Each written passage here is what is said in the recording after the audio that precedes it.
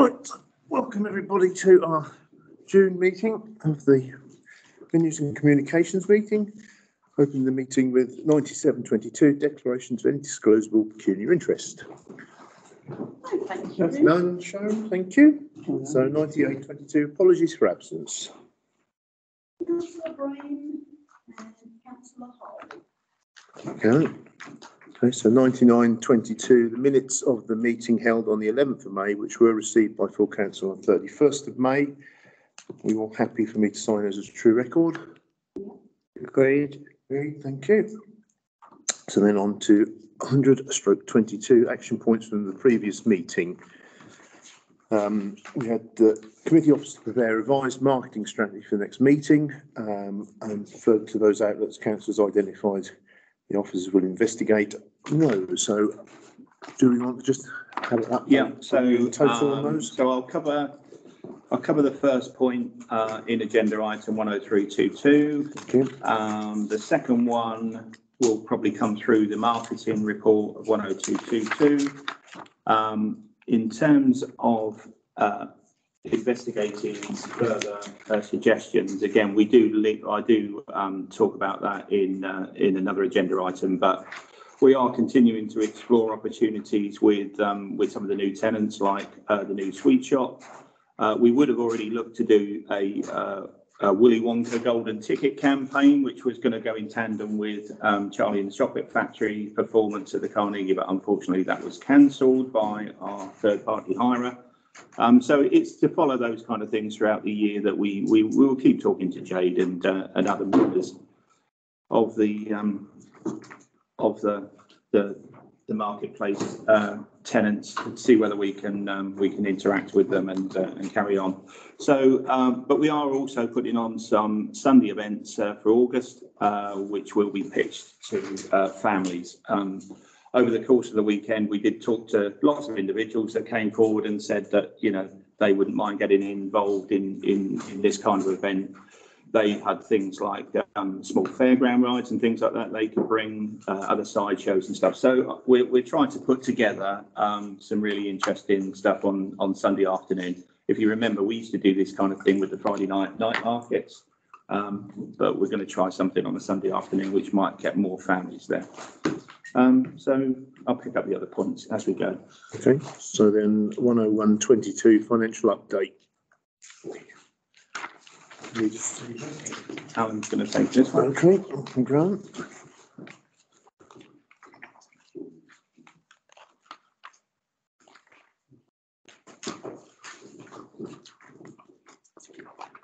Good, got that.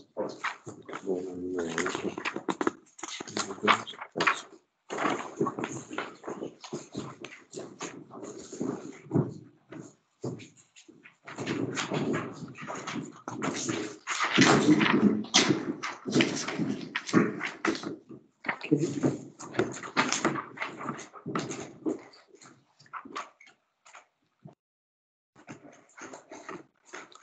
Before I start talking about the next document, first of all, let me apologise for circulating it so late. It is hot off the press.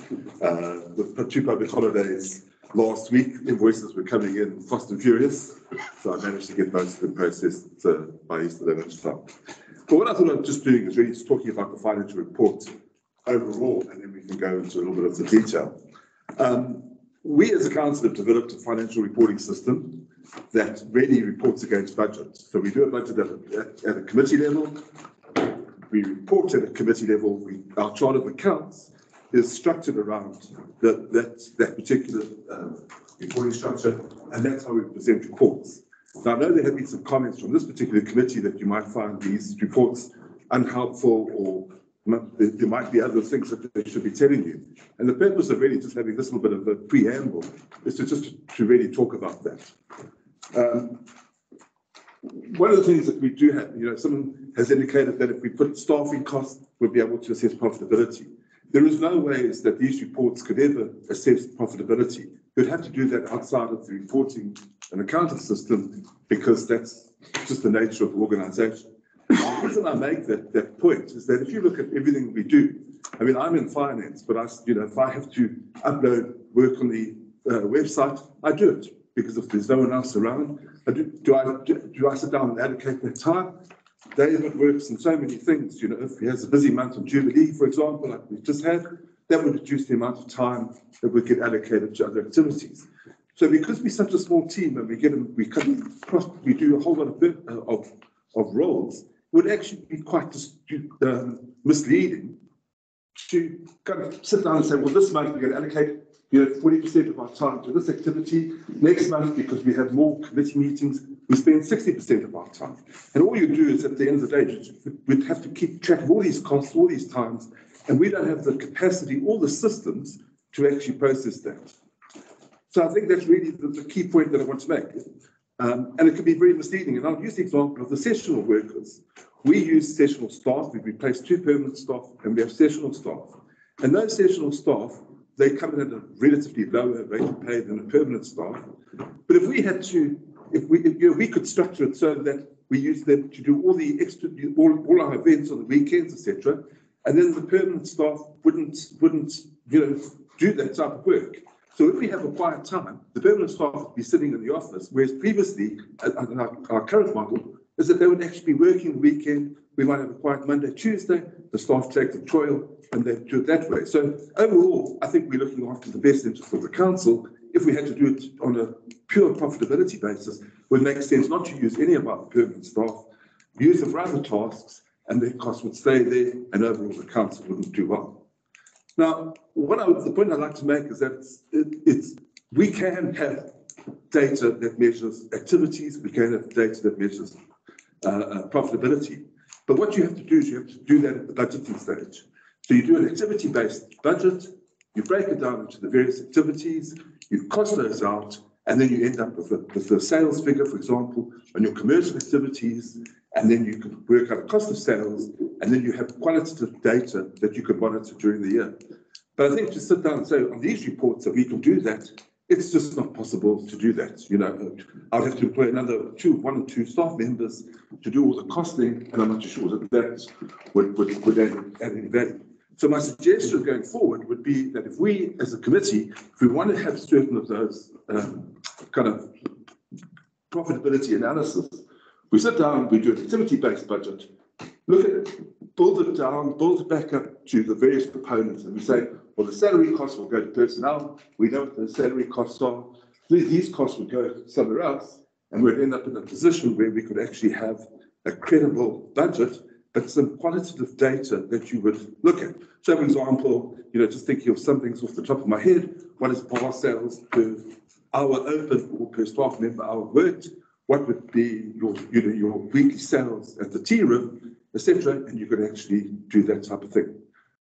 So that's really the context of the report. And I just, you know, I know that there has been a lot of criticism, but I think it's just just understanding where we come from and how we can actually resolve it going forward without necessarily creating a huge burden on finance and also not presenting information that can that asks more questions than it actually answers.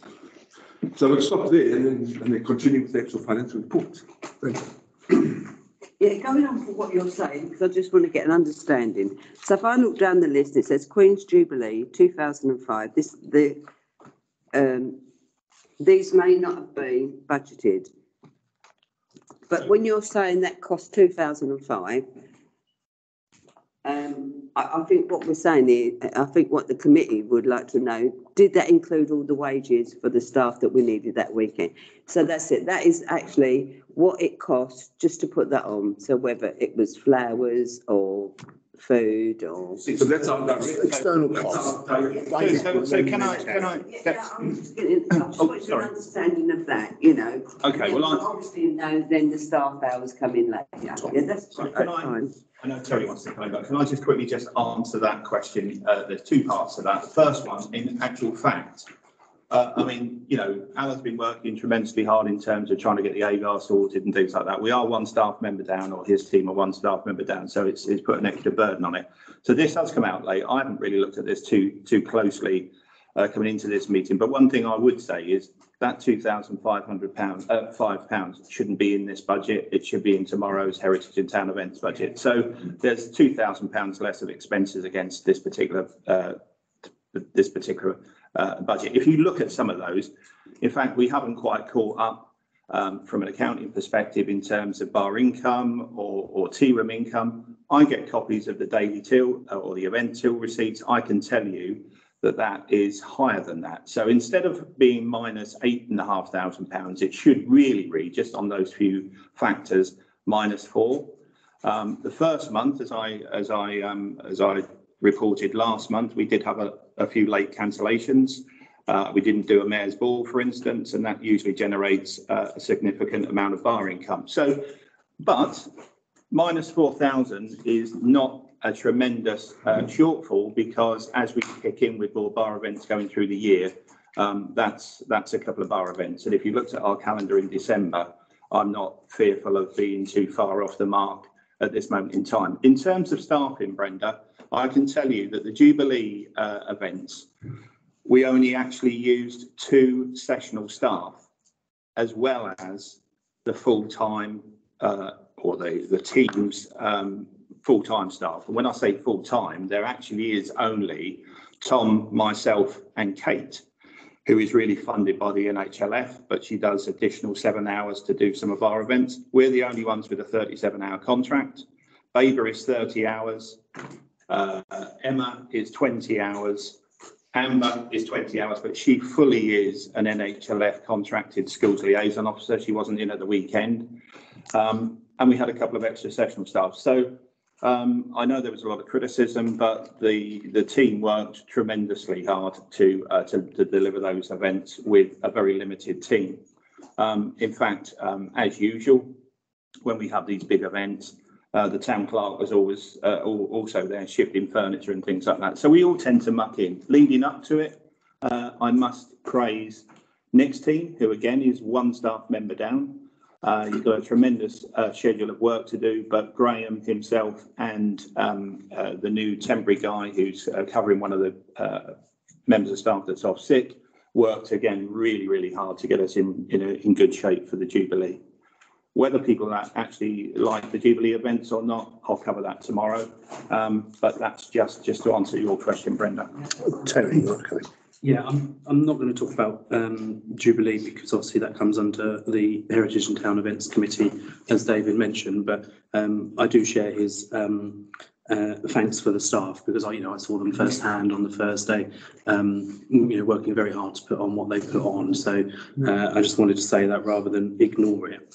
Um, talking about finance for um, V and C, um, I don't think anybody has sat around this table and said we want an absolute detailed breakdown to pound, shilling, and pence of absolutely everything. But I think there could be a fairer reflection of the costs presented in these accounts. So, for example, uh, the two obvious ones is one is business rates. They are specific to the venues that we uh, are responsible for as a committee, and it would not take much time at all, I would think, to include within either these accounts or even a separate note too, so you don't mess up your sort of uh, accounting system, an awareness for the committee of what uh, rates bill there is for the properties that we are responsible for. And then secondly, we've acknowledged that uh, salary staff members do whatever needs to be done. That's the nature of the beast, and it's a small team, and uh, you could be employed to do one thing and end up, particularly on big events like the Jubilee, doing all sorts of things. But there are sessional staff who are specific to the venues, and whilst they occasionally uh, maybe um, uh, called away to do other roles, if you are the lion's share of your role is serving in the bar or serving in the tea rooms, that is a cost to the council, and I think it uh, and specific to those venues. And again, I don't think it would be too much work to include that within these accounts, either in a specific line or as a separate attachment, so that we are aware. Because it is important that we as councillors are aware of the cost of providing the services that we provide, whether that is the Guildhall Carnegie or toilets or any of the other things that we provide. Um, and I will hold my point that I don't think these accounts, in the way that we've had them presented thus far, are a true and accurate reflection, because there are other costs in the background that should be uh, bearing, you know, kept in mind when we are looking at this finance. If we don't include them, what's presented to us on this report each month is not worth it in my view because there are so many other things um, which we're not looking at at all. We might as well, you know, scrap the whole finance report, frankly, because um, we're ignoring an awful lot of information which is very important. Can I I mean, just, just to show you that we haven't come, uh, uh, that well prepared. I mean, David said that the bar figures that he sees are higher and the, and, and the catering figures are higher. The fact is that we remove that when we do these reports, reports that he sees have that, so that- so they'll obviously be, they'll be a lot higher. We, I think we have posted all the income up to that particular point in time. But just to go on, I, I think it's, this committee approves this particular budget.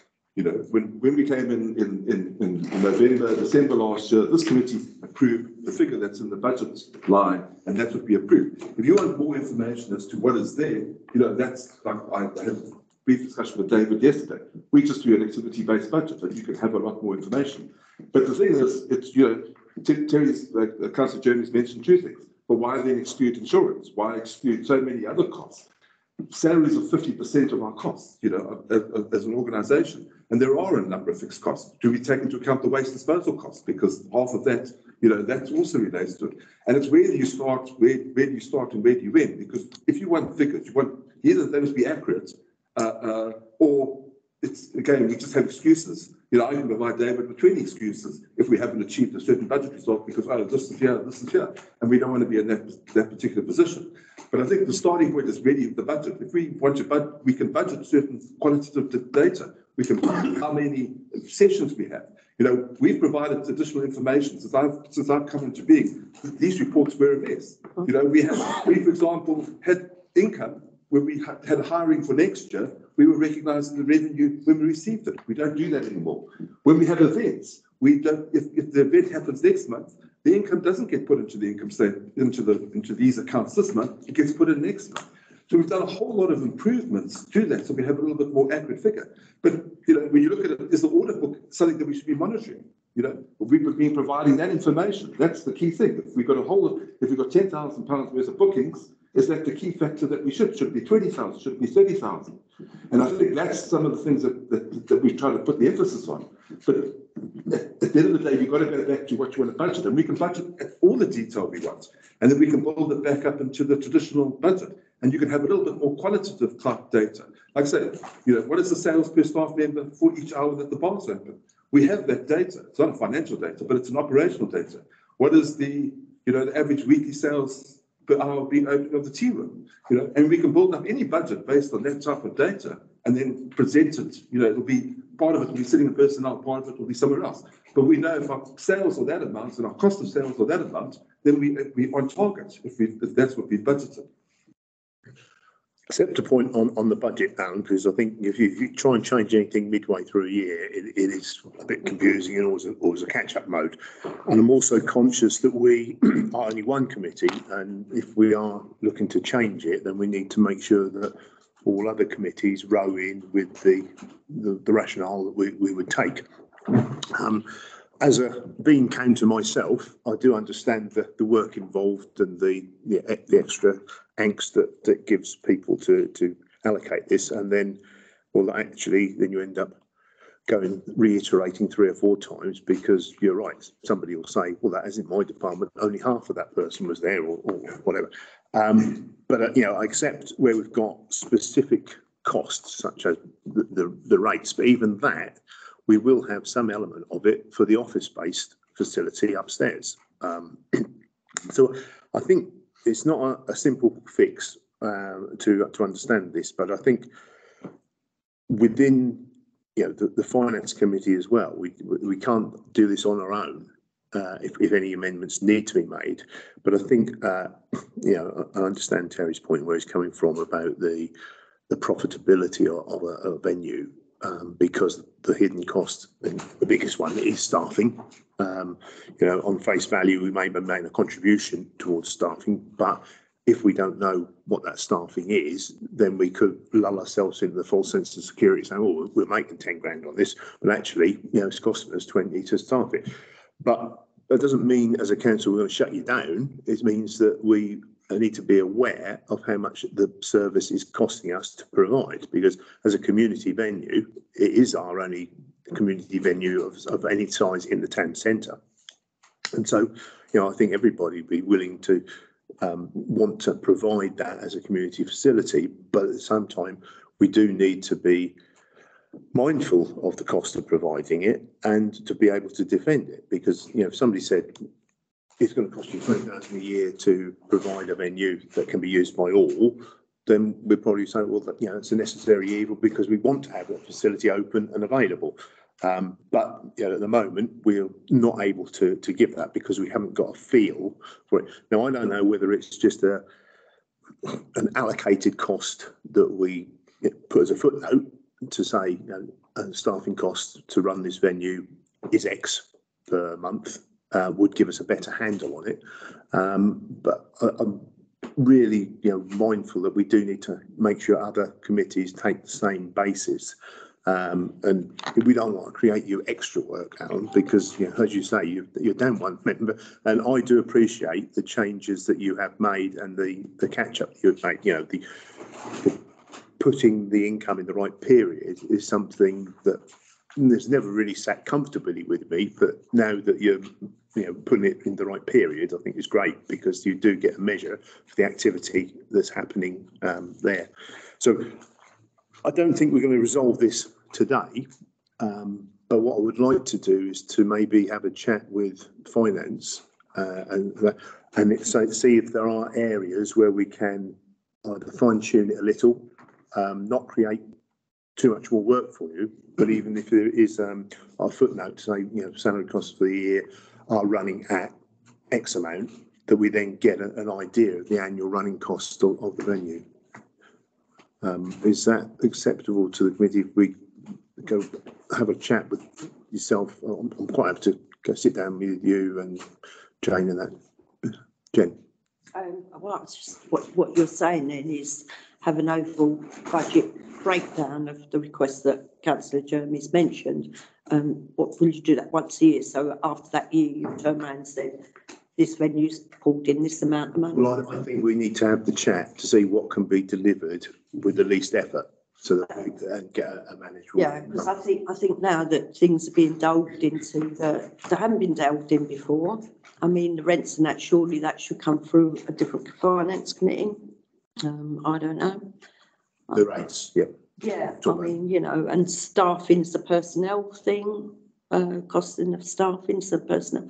So I think everything's being brought into one committee as such. I can understand where it's coming from, uh, believe it or not. Um, but I think we're overcrossing things now that should be done by them certain committees. I.e. the personnel one, the staff is done by, um, the personnel.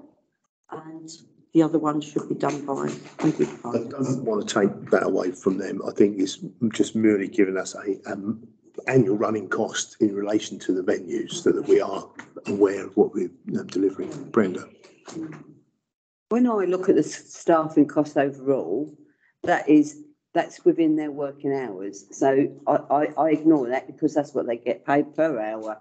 And, you know, it, I don't know, Tom worked Monday, but he don't work Tuesday because he, he done some work on Sunday. So that's not been on there. I just think it's the sessional staff that, um, perhaps, because it's, see, that's, a- that, that, that's another problem because sessional staff don't just work in the Carnegie that, I mean, we've had sessional staff go in the gardens to, to pick things up out the shed. So that, that's your problem is if sessional staff is used on events, it- you know, if venues have got the, um, costings for them, at least you know what the cost of, because you'll know what the overall salary is for the council workers, but you don't know the overall salary of what you've paid for the, um, sessional workers.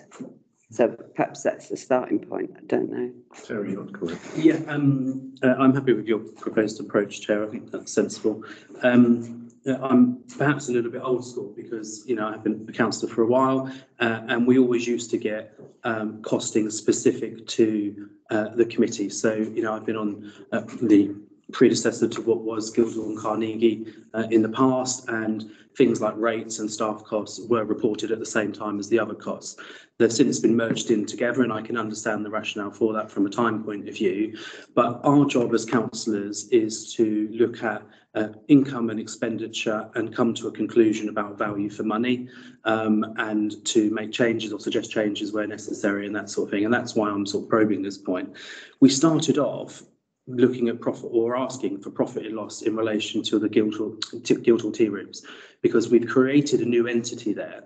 And I think it's important that we are aware as a committee if a profit is being made, if not, what we need to do to make it a profit. And actually, because we want it to be sustainable, we want the things that we set up, the Guildhall, the Carnegie, the tea rooms, to be sustainable. And therefore, the financing of them uh, is crucial. But um, uh, I'm happy to, to leave it there for now. And, um, uh, you know, the point's been made and we can you know, take it forward.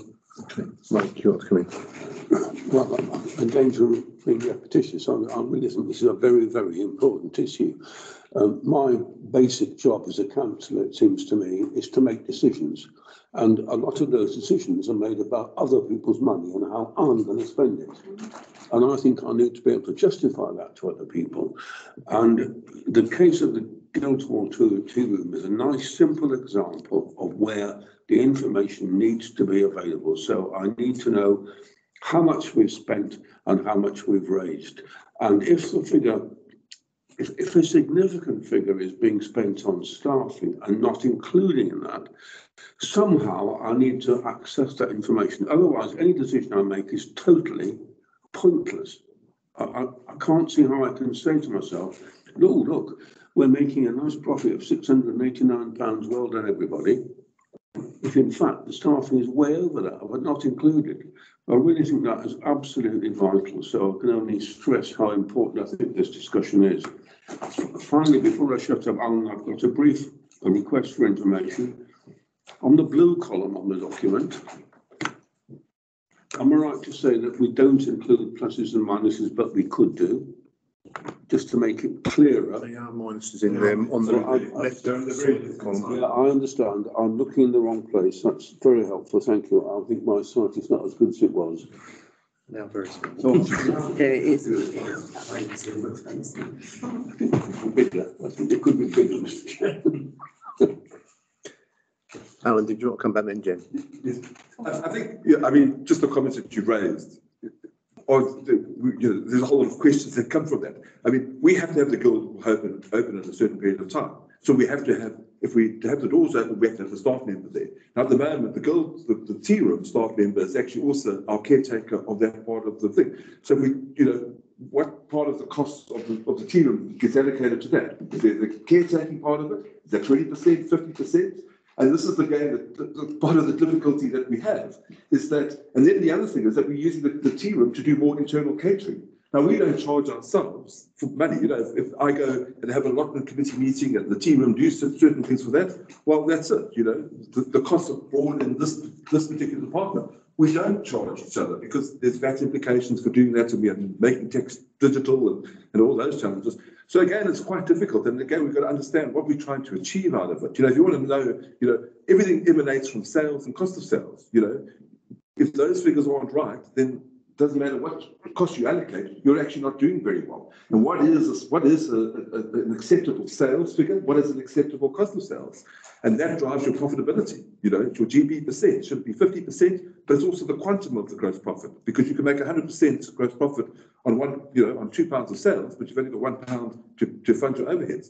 So it's just a matter of understanding, and this is why it's a little bit difficult, you know, and this is why you go back to the budgeting process and you build up your budget from activities, and then you can freeze it. And then once a quarter, you know, David in his report can report against some of those operational quantitative things that un- underpin those the, the um, those drivers. Sales is dependent on how, how you often you open and what hours you open and what your sales are per minute or per, per hour or per whatever the case may be. And that drives it. But it is quite, you know, just a simple thing of saying, what is the staff cost for the tea room? What's the element of caretaking? And that we'd have to take into account. And we have the same problem in the, in the, in the Carnegie. You know? um, but I think the other thing that's really is that within this budget, within the activities, you know, running the market as a community, you know, is it, is it a commercial activity? I would say it's not, because otherwise we'd close down the market because it doesn't make any, any, any profit. Running the box office, running, doing the media, doing the, the, the marketing, they're all non-commercial activities. So the first thing we have to do is split up what's commercial and what's not commercial, because the non-commercial will be funding from the, the, the precept, and hopefully the commercial will be funding from, from the income it generates, a little bit of the multiplier effect. So, so again, more questions than Yeah, we- we're not going to solve it today, Alan. I think we, we need to, you know, have another chat and, uh, you know, see what is feasible to give s- a, a guide to some of the information that we're after. Jenny, you want to come in? I was just going to say that it seems that the tea, tea rooms are being uh, highlighted more than anything else. Um, there's one member of staff in the tea rooms that works. She's a, she's not a sessional, uh, member of staff. No, this is, this is So what I'm, part- this part of the- this is what I'm saying, David, is there's one member of staff that does the tea rooms who also does, as Alan's quite rightly said, does the caretaking of the other parts of the building, looks after the building. We've got, um, I'm not sure what Emma, um, the other lady is. Um, but I know she goes out and does the market, sorts the markets out and that. So, I mean, is she a se- sessional or is she? Well, Currently Emma is on a, on a twenty hour contract, Well, so, this- so that includes market supervision, it includes caretaking, it includes bath, uh, services, So that kind of she's, she's, she's an employed member of staff. So we've got two as such for the tea rooms. One that does all the catering and everything herself and is caretaker of the Guildhall. The other one comes in when, well, obviously once you've got to have cover. I can't see that, I'm, I'm, going to have to agree with Alan here. How can you, how can you sit and say, two members of staff, we want to know exactly what they earn, what they're doing, how much do they get paid? Is this, if this is what is coming across to me, is how much do they get paid for doing that? How much do they get paid for doing that? And how much, uh, you, you know, you, you just digging a big hole, I think. Yes, we have the right to know, but there's certain times to do it. I think you're going into a treading on personnel's and finances. personally. David, did you want to come back? I, I, Mike, Mike, Mike. Mike. I don't expect when I come to a meeting to have the last penny to use uh, the old currency that she, Terry's gone back to, very loyal to the government. Um, but it would be an enormous help to be able to, to know that, for example, the tea room is open for X hours a week, so many weeks in the year, and the basic cost of the member of staff who is there effectively all the time, um, if I'm wrong, that needs putting into the calculation as a starter. It still ignores the, the fact that David's putting furniture out and that someone's cleaning and that someone's locking up and so on. But, but we're that much closer. So I'm getting to the point where I feel I can make a decision that's based on facts and not sheer guesswork or, oh, well, I like the room, so I'll vote for it anyway, which I do. But, uh, you know, I I want, I want something that brings me a bit closer to the real cost than we've got at the moment. I'm going to park that there. I think Can we, I, can I just have the last say, sorry. Uh, so, so, um, I'm, I'm looking squarely at Alan here. Um, and, and again, this is something that is being asked on, on, uh, on quite a regular occasion. And I, and actually I take, um, both Terry and, uh, and Mike's point, if we're going to look at the tea room. We, we opened the tea room, uh, coming out of COVID sort of end of September, early October. And actually, you know, it is a town council business venture with a small b. Um, and we do need to look at it in terms of a business sense. So we do need to evaluate whether whether it's uh, it's likely to be profitable. If it is, then what do we need to do? Do we need to actually maximise that more fully and open more often? Uh, and if we do, how much is that going to cost? That kind of thing. So maybe, um, but I think if you want to get it into a structure, we need to we need to develop the format through our budget setting period. In in the interim, um, we could adopt something that you uh, you sort of uh, touched on, Alan, and that's maybe once a quarter we look at certain areas of the business. I mean, the business rates are not going to change. The, the rates are an annual um, uh, cost, and they're not going to change. We just need to flag it up and tell people what it is. Um, but we can look at, say, the tea room in isolation and try and do more of an evaluation across that And then maybe when we come into September, October, November, which is our budget setting period, we can look at a different structure going forward. So, so I don't know whether that's acceptable. Yeah, I, think, you know, the, the point of changing things midway through year is not great, and it does cause a lot of work. And I think you also got to bear in mind the other committees about how they want to report. So I don't think we have to do anything in isolation. I think we've got to try and, and that's why, you're happy, I would rather sit down with Alan and just chat through things, what we see as a feasible Yeah. halfway house, shall we say, but, but would give comfort to those who, who require further information. But I, I th- I don't think we're going to get any further today, and I'd sooner come back next month after I've had a chat with Alan. That's okay with everybody. Right, thank you. Um, so like, uh, the financial side. Okay, thanks, Alan. Yeah. Going to our marketing report one oh two twenty-two. So when we, So can I, before you guys delve in, can I just, um, because, uh, we have Hazel sitting at the table. yes, Uh, welcome, Hazel. Yeah, Hazel- Hazel's, um, one of the, the, the latest recruits, as you know, um, Chris, uh, Crimmon, our minute secretary, retired. Uh, Karen, um, got a, uh, well, I'm not sure whether I should say promotion. But she was, um, she was moved into a different, uh, a different area of the council business. And we took on, uh, Hazel, and in a short period of time, only five or six weeks, we actually have reevaluated her job. When, we advertised it, it was a receptionist stroke admin. Uh, but she is now part of this team and, um, we've got a greater focus on, uh, social media and, and marketing and things like that, that we, we lay on the desk of, of Hazel's and she's, um, she's taken it with, uh, a real high degree of relish and we are seeing the improvements. So we've actually retitled her job as an engagement officer because that's what we're trying to do. We're trying to engage with more people through our marketing and, and communications and, uh, and Hazel will be a critical point of that. So personally, you know, well done for the first five weeks, Hazel, and, uh, I'm now going to throw you right into the fire. So is it a deadly duo or is it? Let's go, I got it. So before I get started, I just want to make sure everyone's received one of our packs. Yes.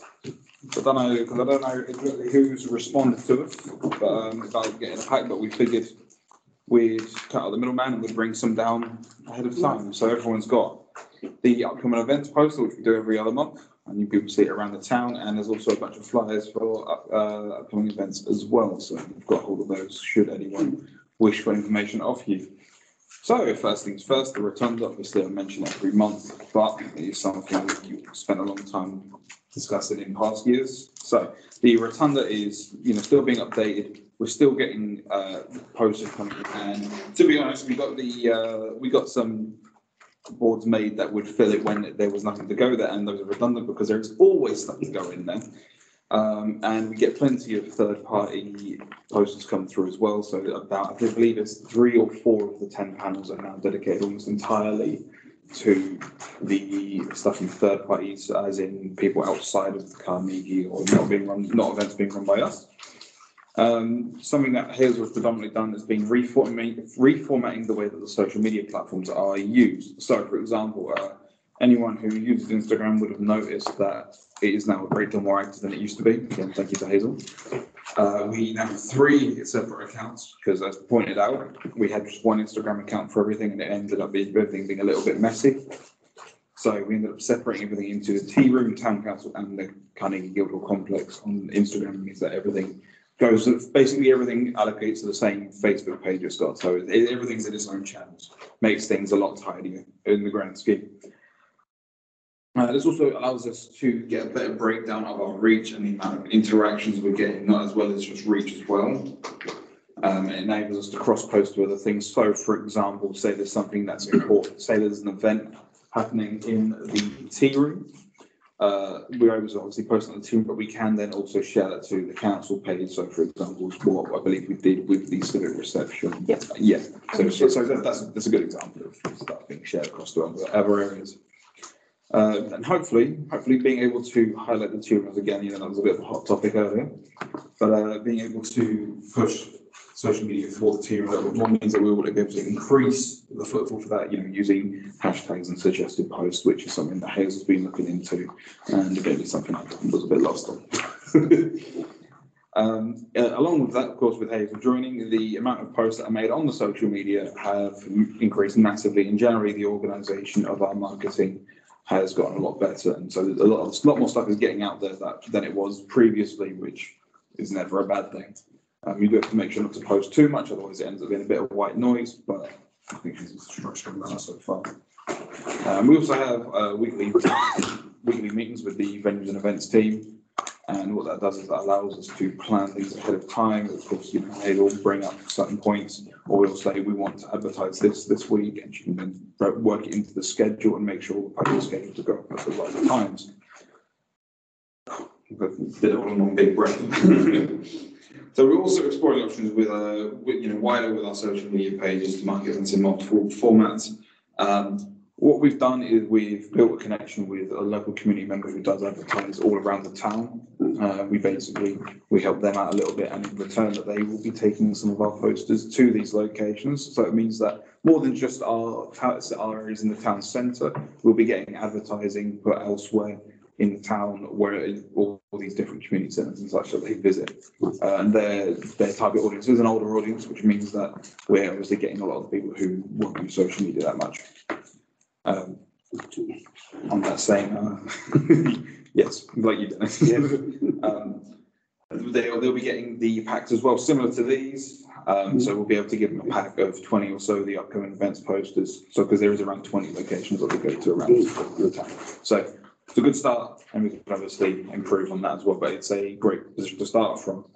Uh, to look at the monthly observations, uh, because obviously we've mentioned the frequency of events going up, which does mean that the amount of, uh, reach that the data shows us is a massive improvement. Uh, you can see it says plus six hundred percent there. That does not mean that six hundred more people are viewing those particular posts, but it does mean that there are that, there is more people viewing them and also way more posts going out as like a multiplier. Um, which, you know, but it still makes everything look very nice. And you can see, you can sort of see where Hazel came in because suddenly it all goes upwards. Um, That will not, yet. yeah, and the Instagram actually existing, which means that, yeah, that, that's, uh, that's gone up hugely. Um, That will not, that upward trend will not continue at that speed as much as it would be nice for it to continue at that speed, but this is more, this is, is going up and it will start to plateau, not entirely, but it will, it will stop improving at that speed. Um, that being said, um, and uh, actually, I've missed the point with campaigns, but so uh, in other, in- along with, you know, the frequency, we've also been putting together little campaigns, so saying seven days left, six days left, you know, and showing what is coming up. And that allows people to basically say, you know, see it because they've had so many more opportunities to see it, you're basically making the holes in the net a lot thinner for people to miss the, uh, miss things being posted. But with the monthly observations, uh, I don't know if anyone else has seen the marketing report. We, I know it got sent out a couple of days ago. But uh, we had our most viewed post ever by a significant margin, uh, go which was the one about the the fly pass. Now, of course, the fly pass didn't actually end up happening as we wanted it to. That's not our fault, but it has put together a very good post, and it ended up being seen by eighty-two thousand people. Um, I don't know if anyone knows, but that's over double the population of the town, so it shows how far you can reach. Uh, and that, that includes the fact that some posts were not, were, you know, no longer available, so it may have been higher than that. And, uh, and the fact that the post was so good, it got copied by other locations. Oh, wonderful.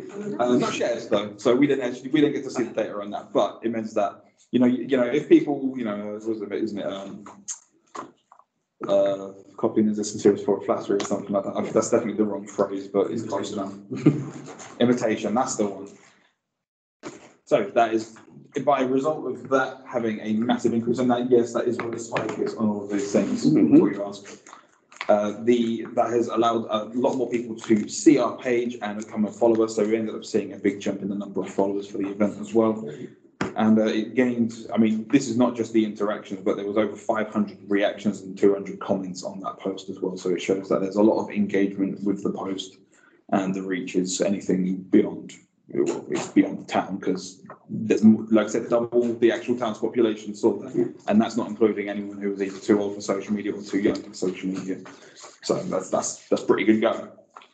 Uh, we've had multiple sellout events as well, such as the Sizes Weekend, which was a successful event and had a great social media campaign as well, so it shows that it works. Uh, the jury's at Drag Night, which sold out in the Guildhall as well. There's a second Drag Night booked in, which is doing well as well. So a lot of our events are selling well. And that's, from what I know from other venues, that's actually a rarity. So we're doing quite well on that front. Um, again, as we've pointed out, there's, you know, when you see the ma- massive upwards trend in, in, um, in posting. Oh, yeah, just a real quick, the amount of reach was over ten thousand people interacted with the post. So it's not just people scrolling past and seeing it, it's people who are, you know, stopped to click on the picture, like, click to like, may left a comment, etc. Over ten thousand people. So that may well have been basically the entire population of Thetford, if you were on Facebook. Uh, yeah, so yeah, increase in profile visits thanks to stuff like that. The, a number of visits on the town council Facebook profile over the month is over one hundred thousand, which again, mostly thanks to that post, but there's a lot of good posts doing it as well. And because of the use of campaigns and the general increase in followers, we're able to, we're able to, uh, make sure that our, our events, anything we're doing, any good things that the council is doing, so it's not just the venues and events, but any, any marketing of the town uh, is seen by a much wider group of people than before. I really need to breathe between my points, I? Um, other than that, we are, we have, uh, also using partnered events to work with other businesses or hires and venues and helping with advertising things. So I believe beyond that on the report is showing all the data, which was hopefully been appearing up there, if in case people didn't get a print off themselves. But there's, there's a lot of data and again showed massive spike in the middle, thanks to one particularly, po- one particularly big post that got received well, as well as a general increase in frequency of posts and how many people are viewing them. That was a lot longer than usual, but Dennis? Um, yeah, well, it goes out to snail mail, so it's very but, um, how often do we make sure these posts are up to date? I happen to be, um, utilising the, uh, Guildhall uh, laboratories the other day, and the posters in there, all the stuff on them are gone, finished. if you mean the bi-monthly post, which is the big green one that's on the back of your pack, that is done Yeah, yes, that one, yeah, this, if you go there now, you will find that it is the current one now.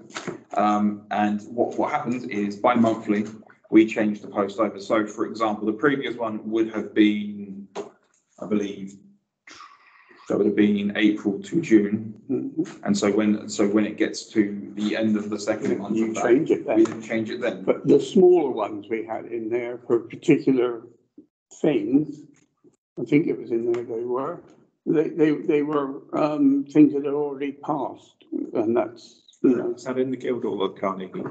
Uh, I think that's the Carnegie. Right, well, well, we just need to keep that, we need to keep. No, You know, just, uh, it- when you're hanging around the loos, you have to have something to do, don't you? Read a post. Really, hanging around the loop. Uh, Say no So you asked more. the post get updated weekly in the. Weekly, first, that's, yeah. If that, if that- if that was the, that was the question, I think I missed it. Yeah, I think, it's yes. Um, but yeah, no, they are done weekly and it's not always the same day. It would be lovely if I could do it first thing, No, first thing every Monday. I think But, you- um, you're both doing an excellent job. Thank So, yeah. Terry, then Brendan.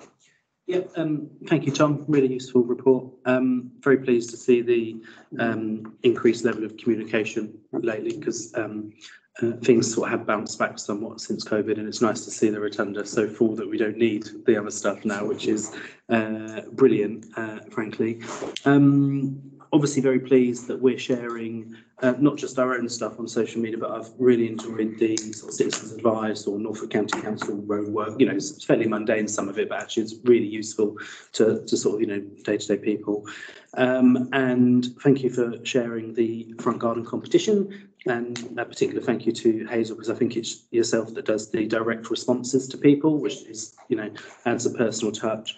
Um, when I got uh, a response back, it suddenly jumped out at me that on the signature of our town council emails, um, we don't at the moment have a link for people to sign up to our digital newsletter because we are still doing. I think I saw reference to it in the report.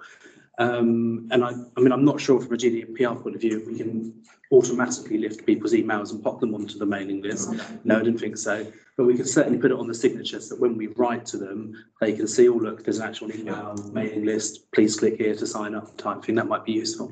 Um, so just from my response to that one, that's fine, but, um, the only thing was, it was just keeping, it was whether or not we merged the Carnegie events with Thetford Town Council. Right. Because obviously if you send any, eh, if I send anyone an email from mail currently, we are looking at changing the system, um, it comes from my email. Right. So you would receive a response from me with my tag on it.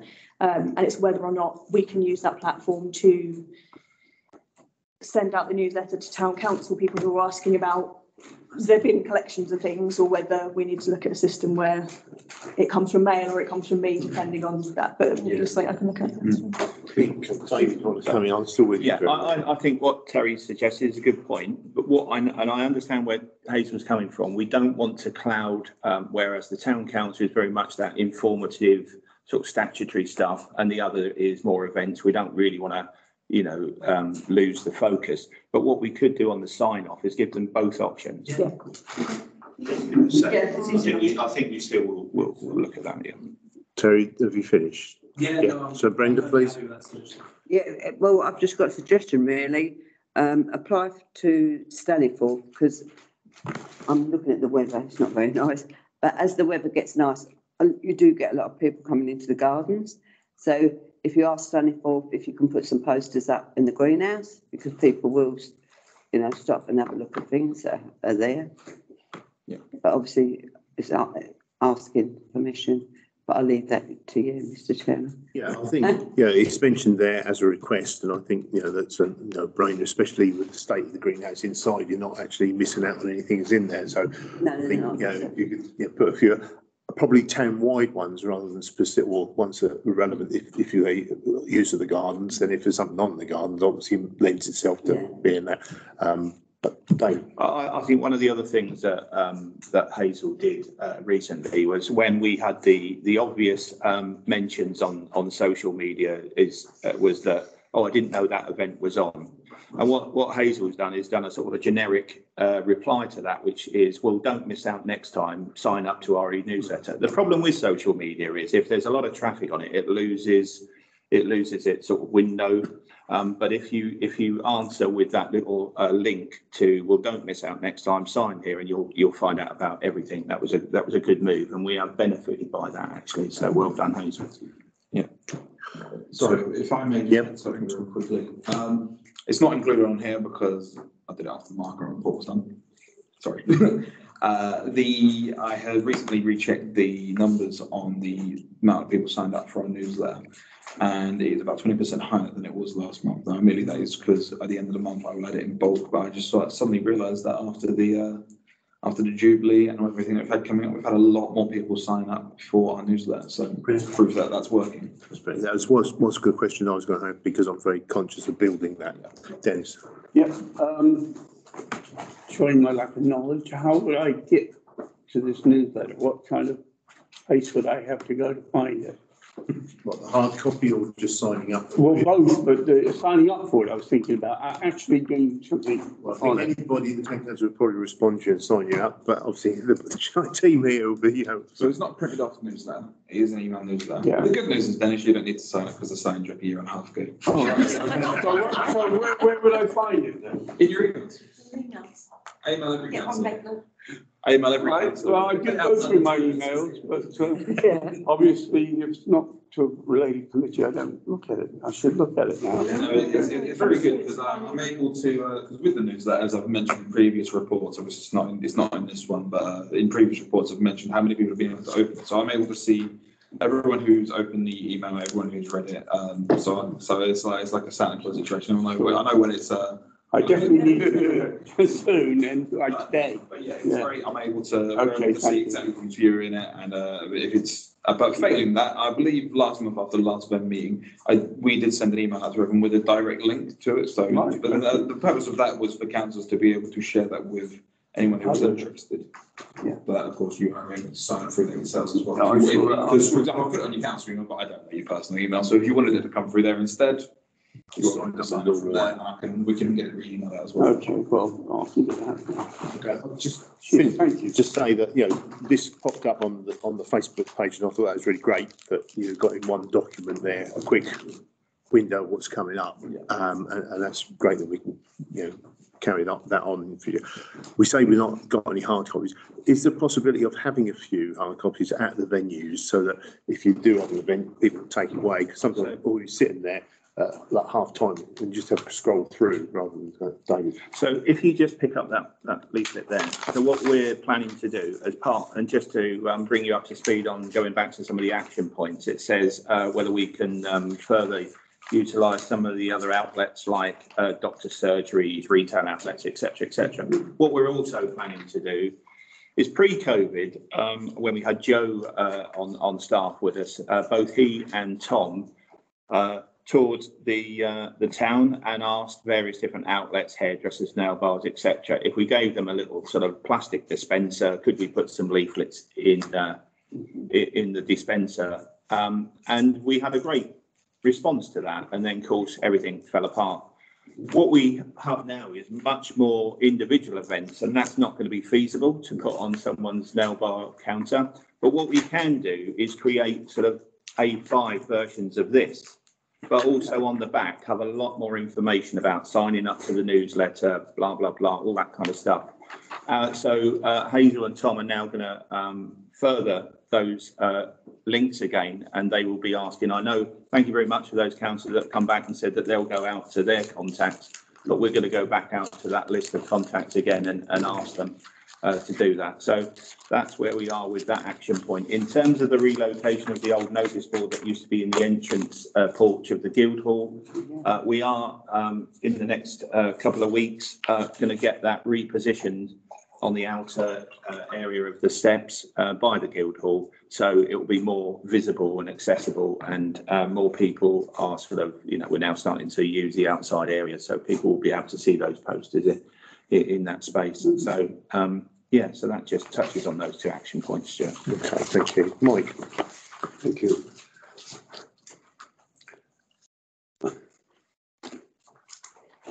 Yesterday, I, as usual, sat having a coffee in the middle of town and I lost twenty-five minutes of my life because coming, coming to the next me was a man who got nothing good to say about Thetford Town Council.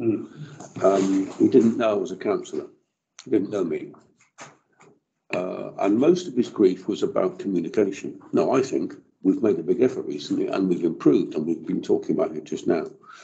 But I would express the concern that sometimes in a conversation, what matters is not what you say, it's what the other person hears, which may not be what you thought you said. So they may hear less of part of what you said, they may not understand what you said, they may, in, in, in their mind, immediately go off on a tangent because you fired them in some way. Now, my concern is that, is this, have we at any time attempted to ask the public whether they think our communications are good, satisfactory, brilliant? Tell them what they need to know. And would it be worth me or us or someone just spending a little time doing what I do anyway, which is sitting in the street drinking coffee, talking to people, saying what we think about communication? Because I sometimes think that we, we, we are working hard on it and we have improved. The public now better informed in their opinion? And I think it's really important that we do try and get their opinion, not our opinion.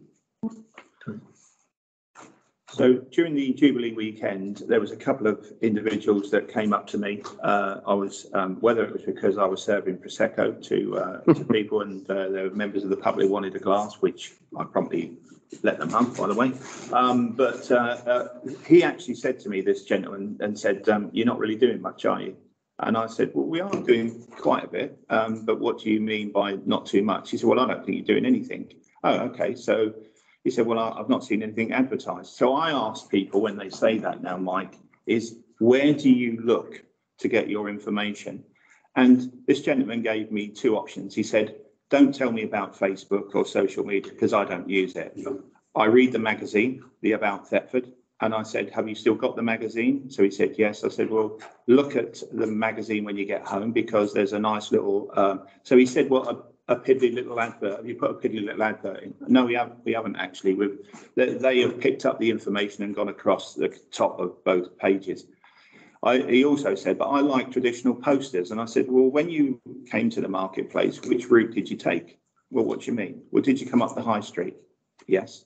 And I said, well, there's a thing that we call the rotunda just by St Cuthbert's Church, which is, which has all the posters in. I don't, don't know what you're talking about. Well, when you go to the bottom of the marketplace, look left and you'll see. So it's very difficult. And, I- and, and there are times when I've heard stories before about people saying there's nothing that goes on in this town and they're standing under a massive banner mm. across the high street. It is very difficult, but the thing is, you're right, Mike. Instead of trying to justify it, ask the question, where would you look?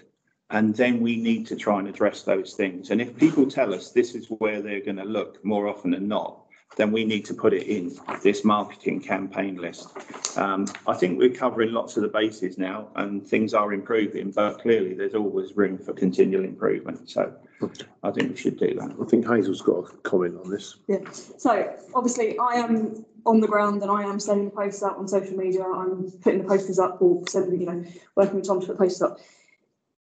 From my perspective, we are doing a lot. Obviously, I would say that because I'm the person behind it, but my, we have identified that actually there is this demographic that do not use social media. We are trying to build links through various um, partnerships with people. Um, I am tagging obviously any of the events we have, we're tagging the um, as well in the post, so you can tag them and they share it instantly to their page and things like that. But obviously, I do understand that there is this group that we are potentially missing. Um, but if, if you put a thing out that says, are we doing well? Are we brilliant? Are we, you know, one to ten? It's fair enough.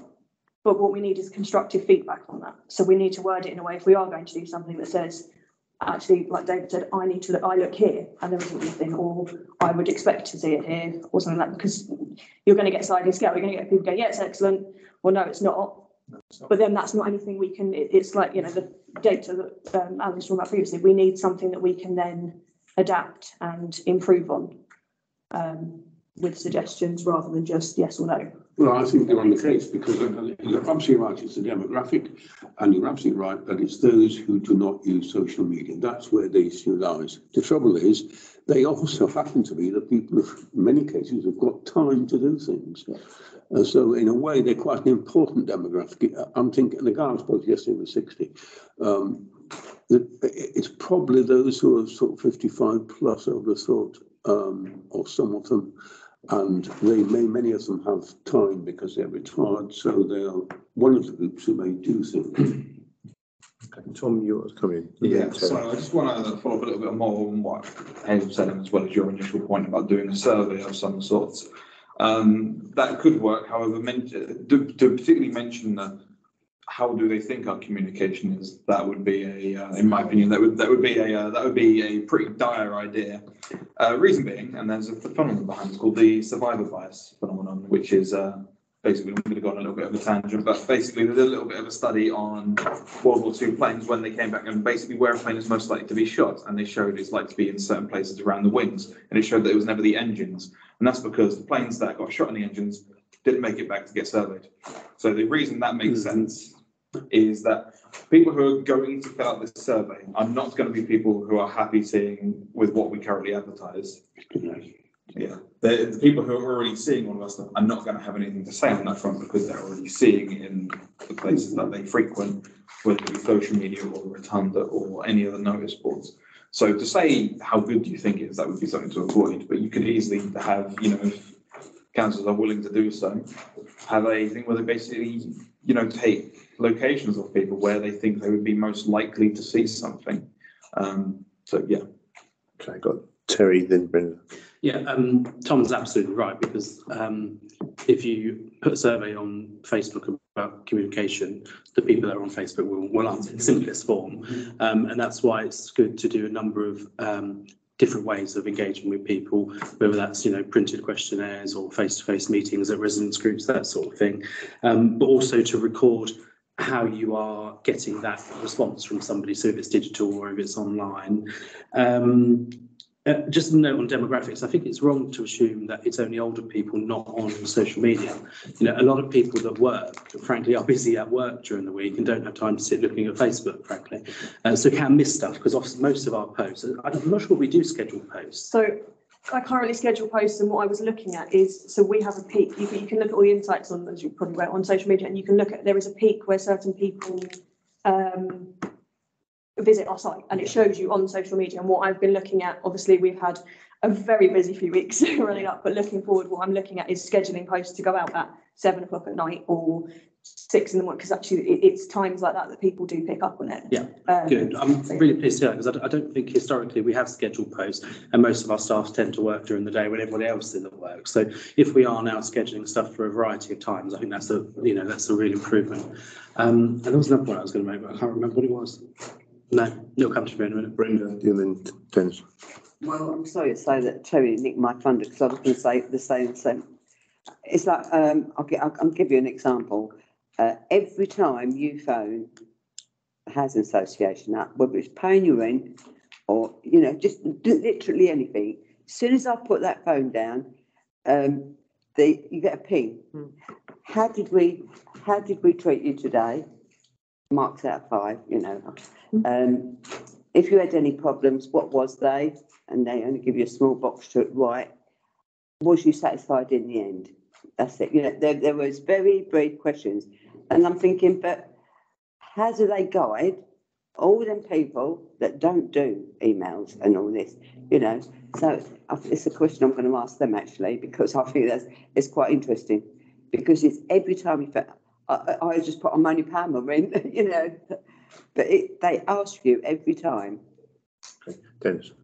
Um, well, I'm just basically saying, going back to the basics, um, if, if we do come up with some sort of form of question that we want to ask the public and everything, I'd be quite willing to sit under a gazebo out there and, and do it. The then question is, how do we publicise that you're there under that?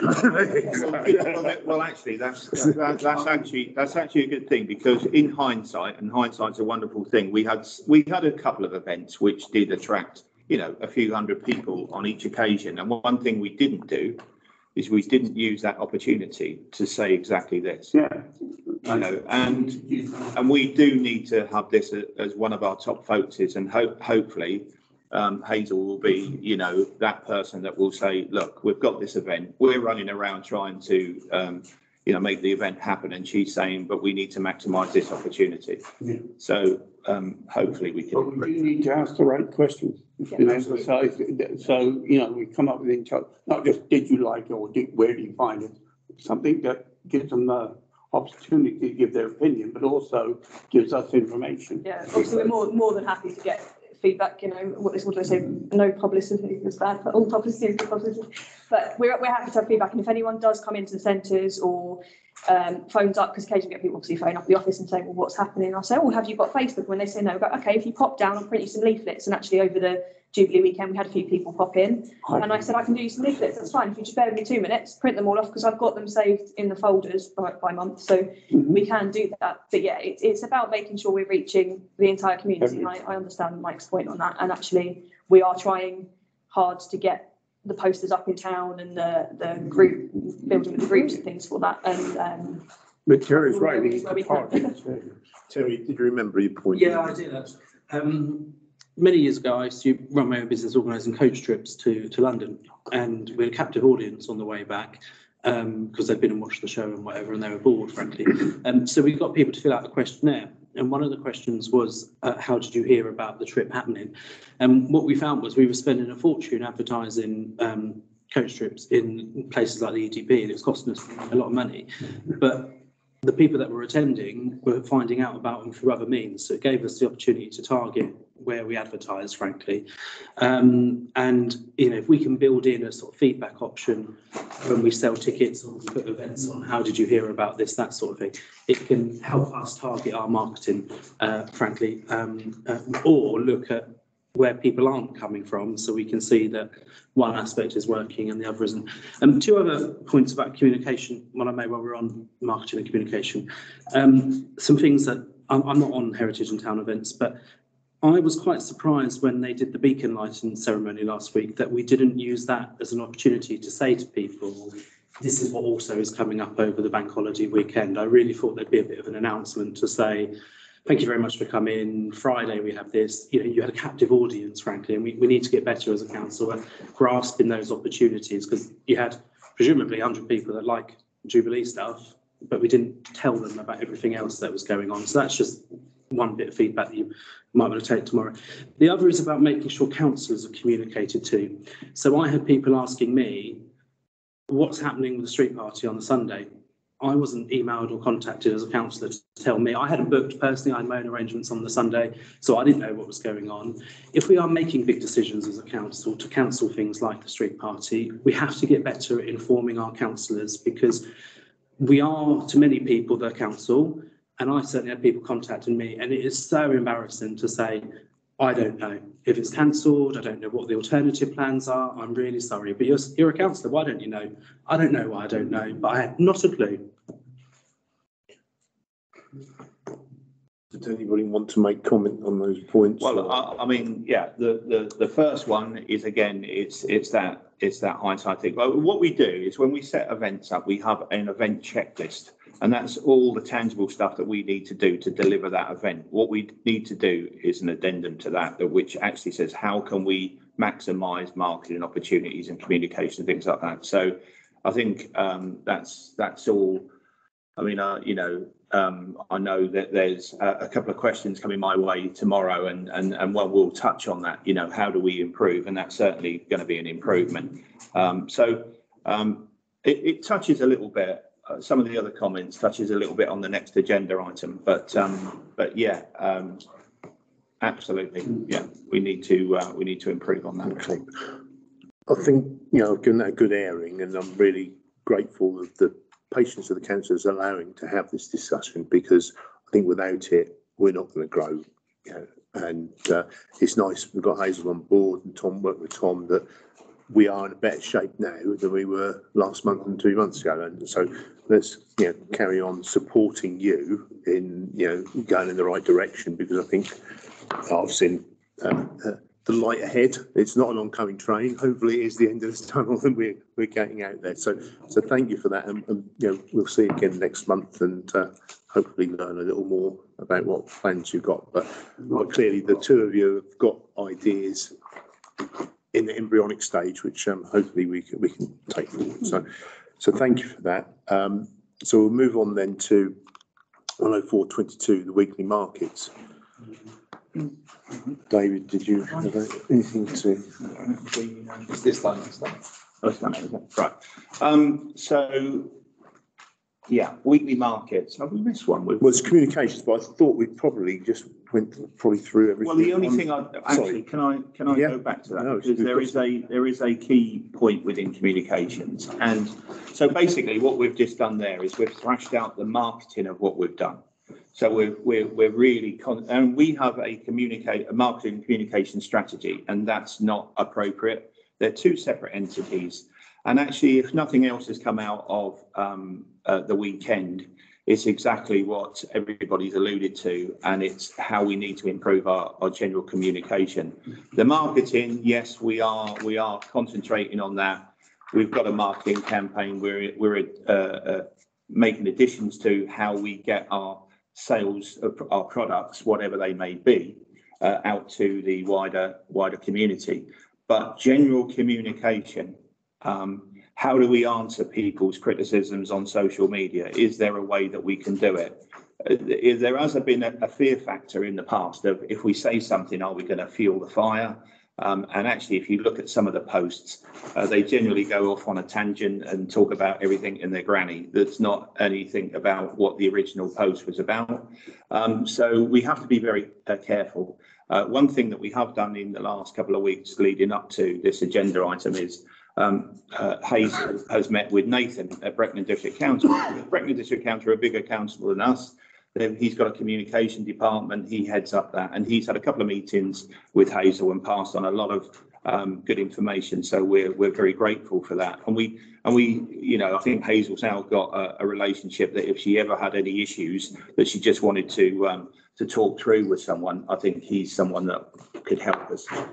But from a communication point of view, I think what we need to do is a little bit more work on that. And actually, I would like to um, ask whether this is something, we've talked about finance and reformatting it. This is another one that's so important to the council that I think we have to have more people involved in how do we uh, structure that than possibly myself or or me and another member of staff. I think, as Terry said, you get it in the neck as councillors, you know, so there has to be a mechanism in there where we, we protect and, uh, and support you guys as, as you would us. Um, so we need to look at the communication strategy as a completely different entity. Um, and, and as a result of that, and in terms of marketing as well, but as a result of that, how do we measure success? You know, how do we know that we're doing something right?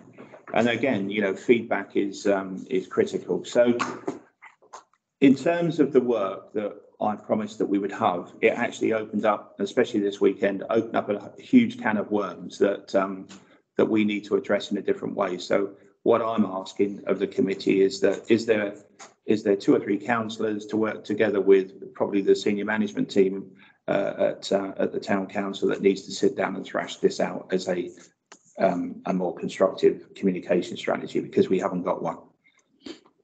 Okay. So just to clarify, we've got the marketing And I campaign think we're, we're going, we're going in the right direction with that. I don't think we, we, you know, we can, yeah. So I don't, has anybody seen that? Well, you've, you've Yeah, seen yes, this as part of the old document, but what we've done is we've obviously updated this with new outlets, so I can send you this part. You've, we thrashed out the, the, the basic outline, I mean, I can send you that as well, but the Yeah. basic outline of the mark, it was a marketing communications That's right, strategy. yeah. Take out communications, that's the Right, marketing good, strategy, Mark. So- yeah. So then on the communication side, Yeah. you're after, what is going to be the town council's communication strategy? Because this committee has a responsibility to the overall communication of the town council. Mhm. And that is something that is critically, critically important, uh, as the weekend has shown. If we get it wrong, Right. we're in trouble. so at the moment, if I recollect, we do have a communications we have a policy. media policy, Media Stuart, policy, yeah. yeah. Yeah, which is, again, it needs, that needs to So go a little there's- bit further. It's prob- Either changed or revised. Yeah. Um, so should we set up a working group to look at that with Yeah. a view to developing the communications aspect within that media policy? Well, we need to change the media policy into a full-blown communication Okay. strategy, yeah. So could we have some volunteers who would like to get involved? with that? Terry, Brenda? Put yourself down. I don't mind, but it depends on. So if we can, uh, Yeah, well, what, what I'll Set do is, I, meeting. I- uh, but if you don't mind in this committee, I know this committee has a responsibility to that, but because it's a wider, um, matter, I think if we pass it out to the rest of the councillors and, Yeah. um, yeah, you know, but those four, Yeah. yeah, okay, thank you. so we'll leave that there then. Yeah. And then move on to one oh four. Sorry, Terry. Um, I'm a big believer, David, in not reinventing the wheel. So if we could get before the first meeting, uh, other ex- good, you know, best practice examples from other councils. Yeah. I mean, Swaffham, I know, has recently empl- employed a new communications officer. They've got their own social media presence. They must have a communications policy for Swaffham. Um, a town council I've looked at in the past that's been particularly good is Dover Town Council. Um, I don't know if they have a communications policy, but they're certainly very proactive online and stuff. So just, just some examples of, you know, let- let's not start square. Yeah. You know, other people are doing good stuff. Let's follow their example. Yeah. Yep. We've noted, thank you. One oh four twenty-two marketing campaign. Okay, so this is, um, this is a standard item that we, we address every, uh, every meeting, and it's basically just to keep on top of what we're doing to try and improve, uh, something that is, uh, you know, let's, let's face it, is struggling. Um, uh, so, um, as the actions, uh, at the beginning of this meeting stated is what else are we doing to try and create that extra footfall? So in recent, um, weeks, we, um, we did an assizes fair, or Katie's team led it as part of the Guildhall Heritage, uh, project. And it was very, very successful. It did draw a huge crowd, uh, into, um, both the tea room and, and the, the general marketplace during the day. Uh, lots of people had some great fun. Um, but we also are now, um, looking at trying to encourage more pop-ups, not necessarily just on market days, but in the general, um, marketplace throughout the week. There was a, a, an incident actually, and uh, I speak to the lads, I've spoken to the lads the last couple of days and they do know that I'm going to sort of address this issue. They actually pitched up at Melford Common. Um, and, uh, and actually social media really supported them. They were going great guns. Everybody liked their food, etc., etc. But because someone reported it to us, uh, a member of staff had to go down under the open spaces uh, policy and said, look, you can't just pitch up. Now, uh, I didn't really, you know, I mean, we, we have enough, enough negative uh, publicity as it is. So really, we, we didn't want to look as a council being, you know, absolute jobs worth. So um, I asked uh, the other team member to invite them to come up and talk to us about, you know, if you can't be at the Melford Common, uh, it's not working in terms of our policy, etc. You're more than welcome to come up to the market. So as of yesterday, they will be on the market Tuesday through till Sunday um, at various times during the day, uh, and they will be paying um, a, a fee to be there. So again, we're going to generate some uh, a little bit more income, which will go into the markets weekly markets budget. Um, but again, um, even yesterday, um, you know, it created a bit of a buzz. The rest of the market traders were really keen to see a new presence there, and hopefully that will generate it. Other people were talking about, well, why can't we have a few more of those and maybe have a, uh, a food trader type um, event and things like that. So uh, and I was even actually talking to um, the area manager of Wetherspoons at the time, and and and I thought, well, he's not going to be best pleased because they serve food at Weather. But actually, he said that's brilliant. That's an absolute brilliant idea. Why don't you get a few more to go down the other side? Uh, at the moment, we haven't got electrics on that side, but I won't. Uh, I'll quickly gloss over that one because we're trying to get that scheduled in. Um, but again, lovely guys, great food, um, and um, you know, hopefully that will be the start of uh, improving improving that. Um, one of the other things that we we uh, we are doing is again asking our our um, market traders as to you know whether uh, once before the market traders actually went out to other markets and tried to promote uh, Thetford market for us, uh, and we did at um, at that time we did actually have at one point 20 different stalls on a Tuesday market because I went back to the records and checked. Um, so again, they, you know, yes, they want us to do more, but yes, I don't think they've, you know, they've not necessarily fallen out with us to the degree where they won't do that. Um, and hopefully uh, they can attract some people. But what one of the traders said is, is there any special deals? Uh, apparently Brandon, um, Brandon Town Council's markets, they do deals that if you, uh, if you, I think they did a spell where they didn't even have to pay, but now they do one. If you come three weeks, you get the fourth week free and that kind of stuff. So I think it's something that we need to look into because Tuesday used to be a very, very busy market and it's now quite dire, to be honest. Um, so, uh, so that's something we, we might be able to look into. Um, but again, I think what, what is quite evident is that the additional activity around the market as with the Assizes Fair, absolutely does the trick. So again, we need to be looking at those kind of events in the future. Um, I did look at, um, I did also look at the uh, Saturday market and um, I did take some pictures of the market from the outer um, vistas. So uh, so these ones are from sort of the uh, the end of King Street. So the one on the right hand side, as you look at it, is from the Rotunda. The other one is more central by the post office. And actually, you can't. I mean, it's a great view from the Rotunda of um, the plant stall. So and that on a Saturday is nice and colourful. The one, the other one is is you know you can't really see into the market. So it's something I'm I'm discussing with the traders at the minute. Again, from another um, perspective, from uh, Guildhall Street. Again, uh, the van is blocking the, the vista into the market, so you wouldn't know that there are two or three gazebos actually in the central part of it. And the other thing is, we do again, we have to be careful that we're not going to be too um, jobs worth against our traders when they're they actually are attending and are reasonably regular. But we have a set of terms and conditions for trading, and uh, clearly the one on the left shows that um, the van behind the fish wagon is not a, uh, a vehicle that is needed to trade for that market uh, stallholder to trade, and it's actually in front of the sweet shop. So again, unfortunately for some of the traders, I'm going to have to go out and um, uh, and talk about how we we might have to take vehicles off the market um, and hopefully open up the vistas so people actually see that there are some stalls on there. Um, if not as many as we would want. So um, we are uh, we are trying to. Um, there are a couple of other stallholders that are are actually in the process of coming on um, to the market. So we might have another couple of stalls in in the next week or so. But again, I think what we will do is put a post out to say that you know we have got opportunities and actually publicise our um, pitch fees because that's one thing that people on social media talk about, and it's not true. I mean, if you have a three by three metre gazebo, you can come onto our market for ten pound.